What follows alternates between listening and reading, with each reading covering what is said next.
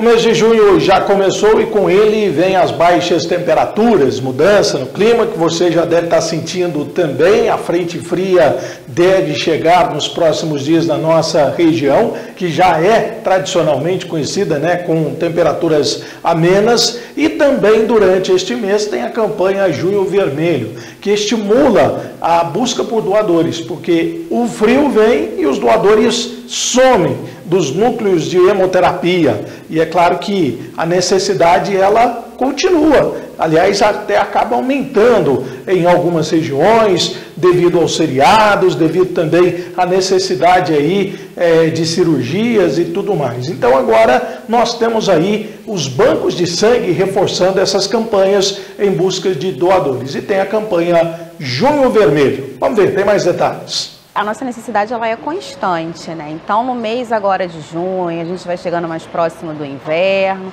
a gente percebe aí que as doações vêm caindo.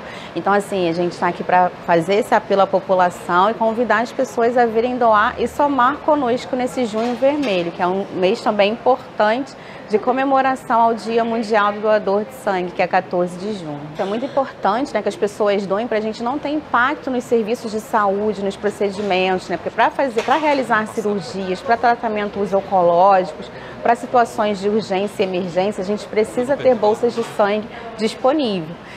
Então, com a, com a, ajuda da população e com essas doações, a gente consegue aí sanar todas as necessidades do nosso estado, né?